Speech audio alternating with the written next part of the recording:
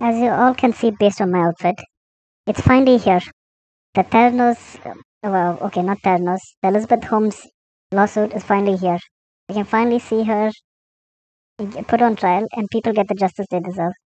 So I'll be watching a Wall Street Journal recap, per se, of what's to happen. Hope you guys enjoy.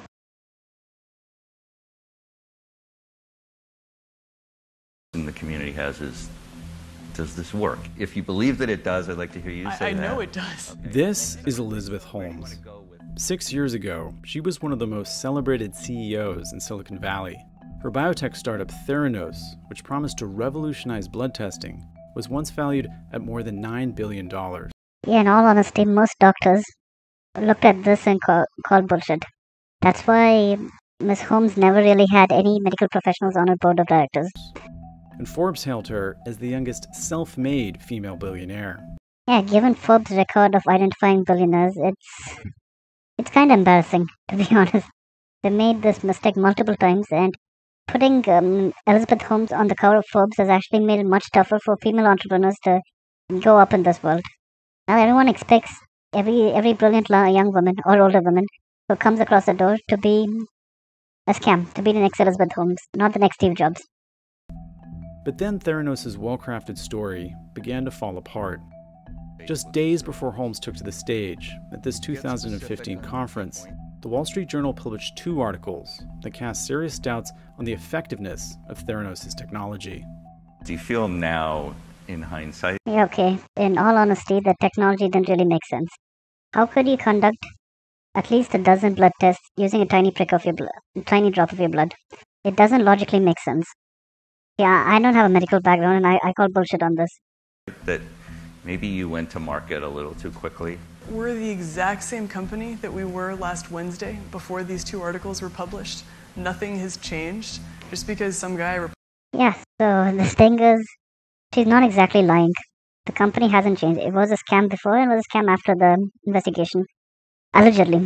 She hasn't been, she hasn't been, co- she hasn't been proven guilty yet, but I'm quite sure where, where it's gonna end, where this is gonna end up. reports false stuff about us doesn't mean that it changes our business. We knew she was blatantly prevaricating, and it's interesting that the government has used many of the facts that we uncovered in our stories as a basis for the criminal complaint that's now pending against uh, Elizabeth. Today, Theranos has been dissolved, and Holmes faces a federal indictment of 12 different Okay, Ramesh Balwani was the other, kind don't know, CEO, CEO, I don't know what to call, I don't know his exact designation, but he was, uh, he and Holmes had an intimate relationship and he kind of ran the company as well. Different charges two counts of conspiracy to commit wire fraud, and 10 counts of wire fraud. The case has two parts. Prosecutors allege she defrauded both investors who gave hundreds of millions of dollars to Theranos and also patients who paid for tests. And to be honest, evidence seems to be indicating that everything's alleged, okay? Nothing's been proven yet. So don't quote me on it. Now, with her trial about to begin Oh crap, what happened to a drip? I liked the black drip. on August 31st, we revisit Theranos' story and Holmes' fall from grace to understand what we can expect from a case that is shaping up to be one of the Crap, biggest yeah. trials in recent years.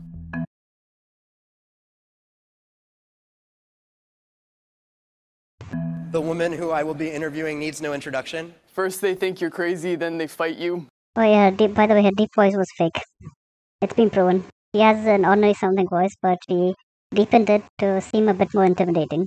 And then all of a sudden, you change the world. Almost every media outlet, including us here at CBS, bought into the Theranos myth. Breaking news right now Elizabeth Holmes is stepping down as CEO of Theranos. The Theranos saga has been one of Silicon Valley's biggest scandals. And not not the last. I'll just put it out there. I've been in the startup field for some time, and I can guarantee that this won't be the last large-scale scandal. and as such, it's attracted a lot of attention. To date, the Theranos story has been chronicled in a best selling book, an HBO documentary, a podcast, Uh, thing about HBO documentaries is, even though they're trying to, f- I mean, any documentary is talking about real life criminals. Is okay. Let's take Tiger King as example. He talked about some of the most heinous individuals uh, in the United States, but it ends up creating a cult following for them. So in this case, I don't know. Holmes may be seen as somewhat of a hero, even though he did terrible stuff. and two still to come Hollywood adaptations. What the fuck? Seriously, you shouldn't. You know, the thing about movies is, sure, they they they might have a good message, but they inadvertently end up glorifying these con men or con women, for for example, in this case. Before the journal stories, Elizabeth was a darling of Silicon Valley. She was, um, you know, viewed as um, the, potentially the next Steve Jobs. Theranos promised to revolutionize blood testing with a new technology that could diagnose everything from cholesterol to HIV using only a few drops of blood. Okay, if it's too good to be true, it probably isn't true. Just keep that in mind next time someone comes up with an inven- invention like this. I'd like to see a world in which every person gets access to this type of basic testing. From an early age, Elizabeth Oh, holy shit, the lack of blinking is scaring me right now. I, I might have blinked like five times already, and she hasn't blinked even once. Elizabeth Holmes' Ugh. aspirations to be an engineer. I first met her when she came to my office uh, when she was a freshman at Stanford, and I believe it was the Okay, the first thing is, okay, yeah, sure, you have a couple of college dropouts who make it big, but the first thing I know about startups is, if it's a college student, don't take them on it. As a venture capital, if you're a venture capitalist, don't take them seriously because they don't know shit. They're new, they're optimistic, they don't understand the industry. Tell them to go back to school, finish their degree, and then come back. fall of 2002. In this deposition interview, one of Holmes's earliest backers, Stanford University professor Channing Robertson, And poor guy got finessed. I actually feel bad for him. A bright student came there, he uh, dragged him into something that's clearly illegal, and look at him now. Recalled that by the next year, Holmes had decided to drop out and launch Theranos. She asked me if I would be on her board, and I said yes. Big mistake, bro. Big mistake. Holmes started Theranos in 2003 after dropping out as a 19 year old sophomore. Yeah. Okay, when it comes to let's say software, you can a young person can do it well. You don't need much experience. You need talent. You need ma- you need creativity and so on. When it comes to medical, the medical industry, it's quite different. You need you need hands-on experience before you go go about and launch a large-scale company, especially when you put people's lives on the line. Like a blood test can identify, let's say, a blood test and of a HIV, a person who has HIV. You can, you can, if you identify it early, you can get them the treatment they need at the earliest, thereby saving their lives. However, if you make some mistake, their lives are in your hand. So just think about that before you start a medical startup. Over the next 12 years, she raised hundreds of millions from investors, and Theranos' Yeah, for a company that has it doesn't have a working proven product, which is that speaks a lot about our current startup culture. valuation ballooned to more than $9 billion. Two former secretaries of state, Henry Kissinger and George Shultz, Yeah, she managed to finesse these two gentlemen. Some of the some of the greatest strategists in the world. Like Kissinger, I've read some of his books. They're great. His insight into fo- diplo- diplomacy and politics is quite fascinating. Yeah, I know I'm going on a tangent, but he's one of my favorite authors. Even though personally I, I'm not really fond of him, but as an expert, I respect him. We're members of the board of directors. And how did you first uh, become involved with Theranos? Uh, Secretary Shultz mentioned um, the company that The interesting thing is, like normally when you're going to run a scam, you you con, let's say, two two powerful people at most. He on the hand, other hand, con nearly every other powerful person in the family. I think the DeVos family, like you know Betsy DeVos's family, was involved in this as well. Let's just see. um, he reached out shortly, maybe several years after I left the Senate. In this deposition taken in a civil case brought by investors, former Theranos board member and former Senate Majority Leader Bill Frist recalled the first time he met Elizabeth Holmes. They had a box there, a machine there, and told the history. Okay, the magic machine. Yeah, the thing is, if you don't have a technical background, you'll fall for this. Okay, I'm not blaming this guy over here. I understand how he fell for it, but as a per- as an engineer myself, yeah, I'm bragging. With a clean, uh, with no criminal record, I can I can I can, I'm not gonna believe that some magical box exists. Yeah, you know, it kind of feels good, even though I, I, I didn't come on the on the Forbes magazine. I'm an engineering graduate. I didn't come in the Forbes magazine, but unlike Elizabeth Holmes here, I don't have a criminal record, and I completed my degree. So in a way, I feel more successful than her. History and um, of her individual history and of the Okay state. when, okay, when they say history, it's because of her family. Her family was quite powerful. I think her dad was involved in what was that company again? It was, uh, I think that was even a scam as well. The apple doesn't really fall far from the tree, does it? age of the company at that point. Uh, do uh, remember actually at that meeting doing a finger prick. The technology and the results came back at that meeting. So you did test. Yeah, dude, the results can be faked. Yeah, but then again, this guy most probably had an education background in law. So I understand his, I don't know, how do I describe it? I understand his ability to to get conned easily. the technology right at that first meeting. Yes. And it was analyzed right there and then? Yes. And the results were given to you? Yes. Right there and then. Investors like the Walton family and Rupert Murdoch, the fucking Walton family got caught in this shit. Murdoch, dude, she has like a all-star invest, investment firm, investment banking. executive chairman of News Corp, the journal's parent company, each invested over $100 million. Others, like former education secretary Okay, yeah, the DeVos family, as I mentioned. Betsy DeVos's family, invested $100 million. Wasn't General Mattis also kind of dragged into the board? I'm The not sure. Mexican tycoon Carlos Slim Oh, even invested Car- oh, damn, even Carlos Slim got dragged into this shit. It's not just an all-star American group. It's it even has the Mexicans involved. Wow. $30 million. If this technology truly worked, it could have um, upended the, the entire blood testing industry, and it could have made them a lot of money. But after the publication of two Wall Street Journal articles in October 2015, Holmes's claims began to unravel.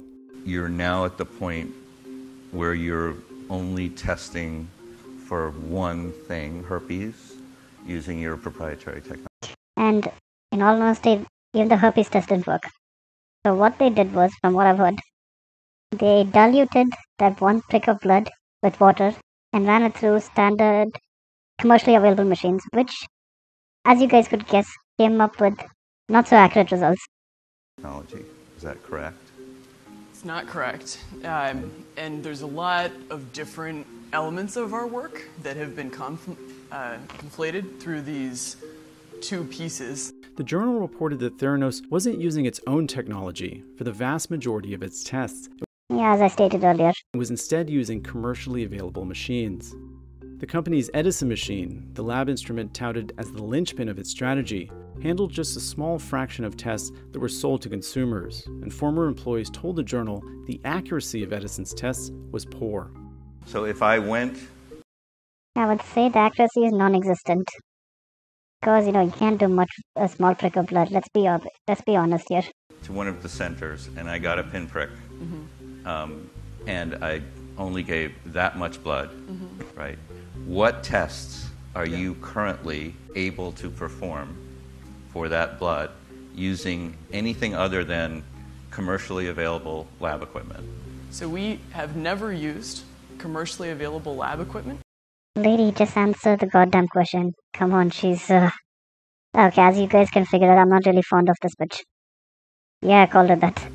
for finger stick based tests. Okay. Every finger stick test that we have ever done uses proprietary Theranos technology that is not commercially available. Well, it sa- Uh, the thing about her is she's really good at avoiding questions. It sounded great for her to say that they uh, never used third-party commercially available um, blood testing technology. Unfortunately, it's not grounded in the facts. In this 2018 deposition interview, former Theranos product manager Daniel Edlin recalled a company meeting in which the use of third party analyzers was discussed. I heard discussion about certain Theranos tests being lab developed tests that were run on third party machines. Okay, another thing about Elizabeth Holmes was she was extremely toxic in the workplace. Her employees hated her. Like she kept us in this highly competitive and a big brother like workplace where everyone was spied upon. No one had no one had the same. So when you like in that case, come on, her she's not gonna have the loyalty of her subordinates when push comes to shove. And that's what happened. Moral of the story is don't be a bitch to your subordinates or your employees or whatever, or your peers. Just don't be a bitch to anyone. A 2016 journal article found that Theranos failed to maintain basic safeguards to ensure consistent results. What's oh. more, because of the company's many questionable tests, some patients adjusted the amount of medicine they were taking. Others. Okay, that's extremely dangerous. And that's what I was uh, talking earlier about the healthcare industry having a moral responsibility to make sure that their customers don't get, you know, you don't con your customers. Actually, you don't con your customers anywhere, but when it comes to the healthcare industry, it's not just money that's on the line, it's people's lives that are on the line. And it's, it's extremely disgusting to see people, you know, take advantage of that. Putting people's lives on the lines for their own personal ego, that's, that's horrendous, it's disgusting, and it's, you know, it's inhumane. Like breast cancer survivor Sherry Eckert panicked, as seen here in this 2016 Wall Street Journal video. I hope she got out of this alive. When I went online, yeah, it's good she got out of it alive. I'm happy to hear that. and got the results. Um, I printed them off. It looks like they're normal. And then I thought, I better go back and look at that again. Okay, what's the range, the reference range? And I noticed that it's for premenopausal women. Okay, well, that's not me. Eckert, who could be called to testify in the trial, received blood test results from Theranos that showed estrogen levels many times higher than is normal for a postmenopausal woman. Yeah, this actually disgusts me. Uh, no, they should give the highest possible sentence for Elizabeth Holmes. She deserves it. Okay, I'm gonna say it. She deserves to fucking rot in jail. Her oncologist told the journal a high estrogen level could cause cancer to recur or could be a sign of a rare tumor. Either they th- they made a mistake, they tested somebody else's blood, or their controls don't. The truth is, I think they most probably just randomly gave some values to this poor lady's report. They just put some random values on a report, and it, and you know if if things didn't work out as they did, like I'm happy that she's fine. Things didn't work out as she did, as it did. She might be dead, and her blood is on Theranos' hand. And God knows how many people like this didn't get away, didn't survive. Don't work, or I have a tumor somewhere. Great. The patients were the pawns in all this. Many of them who had gotten tests and the tests seemed to be wildly off, they would sometimes have repeated tests at Theranos, and then when those were, were wildly off, they would go to a traditional, you know, Quest or lab. Yeah, that's good. They went to a certified professional lab. That's what saved them. When they complained, oftentimes they would not get any kind of a response. So you have no concerns about where you are today? What we've done for the last few days is listen, right? And try to understand what are the questions that the community. Let me try my, uh, my Elizabeth Holmes uh, talk.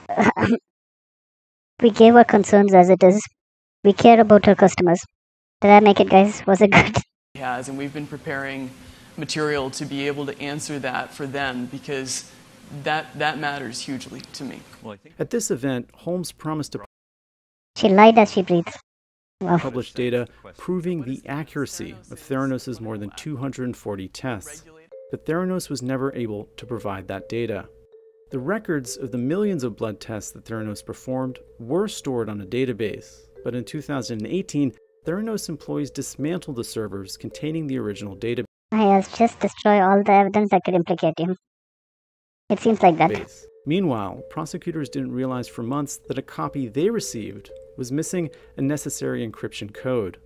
At this point, neither the government nor Theranos or Elizabeth Holmes have access to this database anymore. Kind of extraordinary that it just sort of disappeared. Prosecutors believe. Kind of convenient for her, isn't it? That even without the database, a successful prosecution can be carried out with the anecdotal evidence available. Holmes's defense team has argued that without this database and broader data, prosecutors shouldn't be able to call patients and doctors to the stand who said they got inaccurate test results. So they've put a lot of stake in this lost database. Prosecutors first indicted Holmes and former Theranos executive Ramesh Sunny Balwani in June 2018. Holmes settled it's been like three years, right? Civil charges filed by the SEC in 2018. Prosecutors say that. I think one of her uh, one of the terms of you know the conviction, the civil conviction was that she was she's not allowed to serve as an, a board member or a C, or a C-suite member as like a CEO, CEO, or CTO of any company. But I don't think that's punishment enough. From 2010 to 2015, in investor pitches that Elizabeth Holmes did, she basically told investors that they had this revolutionary technology, but uh, they say that in reality that wasn't true and she knew it. Prosecutors say Yeah, to be honest, like she's the person who claimed to have invented this revolutionary technology. So if it didn't, if it didn't work, she was she was clearly obvious of it, and we know based on pre- previous lawsuits that the technology didn't work. So I'm not saying that she didn't know. I'm just saying it's highly likely that she didn't know that the technology didn't work. Please don't sue me. The Investors were told Theranos would generate over $100 million in revenue in 2014. What? And okay, like I know I'm not, I'm not you know, diverting from the topic again. When this is from my personal experience, when you have startups coming up with their projected earnings, just half that or quarter that or divide that by 100 because they most cases they pitch they tend to pitch extremely optimistic values which won't realistically happen trust me on that and that Theranos had lucrative contracts with the Department of Defense that didn't did they exist. Oh, oh yeah, didn't exist. In the indictment, prosecutors point to six specific wire transfers from unnamed investors that they say were the result of allegedly fraudulent acts. Were they involved in money laundering as well now? Let me see. Including a nearly $100 million deposit to a Theranos account sent in October 2014. Intent is what matters and showing that someone intended to deceive. And okay, okay, they were transferring the money from their account to investors' account to somewhere else. Okay, they're trying to. Okay, there's this trick. What that I've noticed with startups is they'll try to, you know, get the money to move around accounts to make sure that the investment thinks that yeah, the money is being used for something apart from you know filling someone's pockets, but it's actually filling someone's pockets. And so, if Elizabeth Holmes's lawyers can say that she believed in the technology, that could be one line of defense. Really? Okay, it's like saying, Your Honor, I thought that this gun won't shoot someone if I pull the trigger. I don't think it's a valid defense. Okay, I'm not a lawyer. Maybe I'm wrong here. Maybe there are some intrinsic, there are some, you know, underli- underlying meaning behind laws. But this kind of sounds to me as in I accidentally shoot someone, or I purposely shoot someone, thinking it's a joke. And, I'm, uh, and I bring the defense. Your Honor, I, I was unaware that the gun was loaded. Would that work in court? It's, it's up to you. What do you guys think? Just put that in the comments down below. Elizabeth Holmes's lawyers could also argue um, that all Silicon Valley startups embellish to investors and that what Theranos did was no different. Oh, this is like, Your Honor, everyone's equally shit, so you should let me go. Yeah, okay, I don't know about the legal thing. Maybe she can get away with it, but from a moral perspective, this is like a really dirty tactic. It's unclear if Holmes will testify in the trial or what the defense's strategy will be.